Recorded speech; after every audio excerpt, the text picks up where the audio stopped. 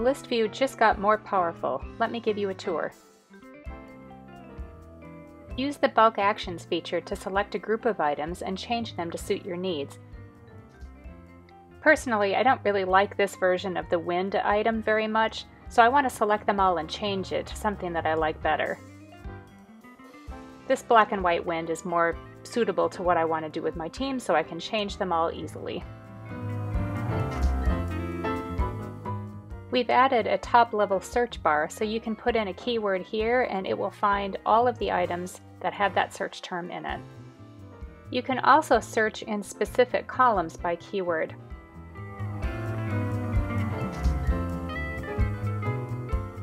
We've added tools so that you can change how you want to view your columns. Want to reorder them? That's really easy to do. You may also want to hide columns.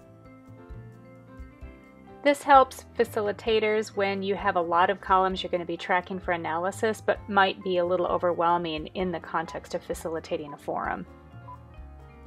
We hope you like the new features in the list view, and a special thanks to all of our weavers who helped us with this release.